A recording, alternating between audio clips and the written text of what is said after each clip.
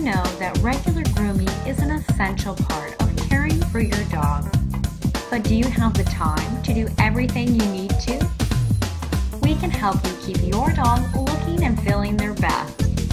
A refreshing dog bath will help keep their skin clean and irritant free and have them smelling oh so good.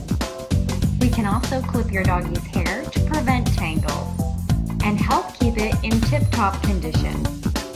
We can trim their nails so you know they're walking comfortably. We can brush their teeth to help keep their mouth and gums healthy. We're always patient and respectful of your pet. And we make it a fun and pleasant experience for them. Call us today for an appointment. Your doggy will love you for it.